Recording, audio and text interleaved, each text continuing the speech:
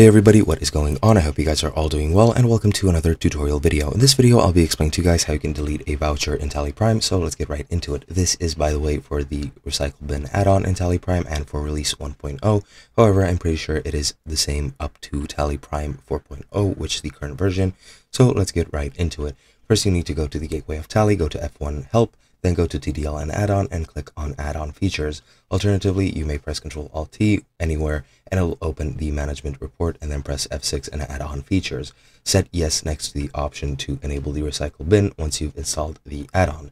Then you need to go to the gateway of Tally, display and daybook to delete a voucher, select a voucher and press Alt R to delete it and that is pretty much all you need to do. It'll be set to your uh, recycle bin and then you can control it further if you want. It'll display this dialog box to confirm. Just press enter and that is pretty much it. To restore it if you delete one by accident go to gateway of tally go to display recycle bin and select any voucher or multiple vouchers and press alt f12 to restore the voucher. And that is pretty much it. This dialog box will be will appear just to uh, confirm that you want to restore it and you can delete them permanently by going to uh, gateway of tally, display recycle bin, then select any voucher or multiple ones and press Alt D to delete in bulk and that will delete them permanently. And that is pretty much it. Hope you guys enjoyed and I'll be seeing you guys next time.